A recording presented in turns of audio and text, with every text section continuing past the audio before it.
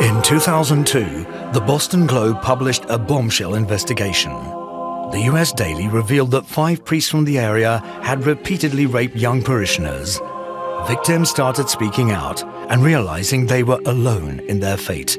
The scandal, local at first, resonated across the world. It, it, it sounds ignorant, but you really think you're the only one, and that blew my mind. That the church did this over and over again to all of us. 25 years on, many of the victims say they're still suffering and that the resignation of a cardinal or endless trials had not healed their wounds. We revisit Boston Catholic's church paedophile crisis all this week on France 24.